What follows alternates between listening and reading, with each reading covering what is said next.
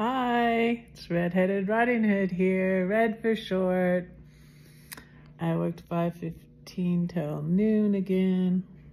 I went for a walk. I'm having a nice cup of sea salt caramel hot cocoa in my Alice in Wonderland cup that goes with the goes with the bunny picture of McTwist. The bunny's not on the cup, but there's a cat. See, there's a cat, Cheshire cat inside. Yeah, no bunny on the on the um thing. But anyways, I'm gonna read Daily Celebration. This is another good one. It's called Barriers. I have come across in an old notebook a copy of a certain prayer. Years ago, I think I must have copied this prayer from W.H. Elliott's autobiography, Undiscovered Ends. W.H. Elliott was one of the most famous and effective of early religious broadcasters. And there was a time when the weekly service from his church in London was one of the great religious events of the week on the wireless.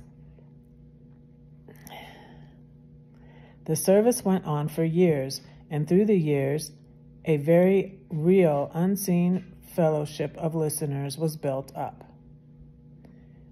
Out of that fellowship there grew the League of Prayer, which had a prayer that all of its members were pledged to pray. It ran like this O God, who hast made of one blood all nations of men, mercifully receive the prayers that we offer for our anxious and troubled world. Send thy light into our darkness and guide the nations as one family into the ways of peace. Take away all prejudice and hatred and fear. Strengthen in us day by day the will to understand. And to those who by their counsels lead the people of the earth, grant a right judgment, that so through them and us thy will be done. Through Jesus Christ our Lord. Amen.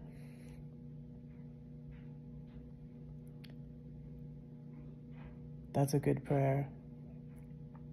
I often don't know what to say when I'm praying for the countries that are at war. Just, oh, my heart breaks. My heart just breaks for all of them. All of them.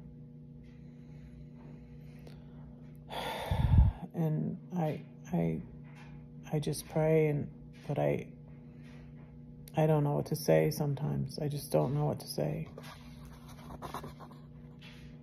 If ever we needed to pray that prayer, we need to pray it today. It is a prayer that God may guide men at last to live in a world where the barriers are down. We have our international barriers. When we look at the world calmly and sanely, it is incredible that the nations are busily engaged in bankrupting themselves and threatening the health of mankind in an attempt to build up a store of weapons the use of which would make the earth uninhabitable. Such barrier erecting is devilish. Tomorrow is on barriers, part two. But um, in case you haven't guessed, I will put the link below again to Wikipedia about William Barclay. But um, he was a pacifist. So, that said, I hope you all have a great rest of your evening. Don't say that no one cares for you because I do and God does too. Don't forget to pray for Red because Red is praying for you. Bye.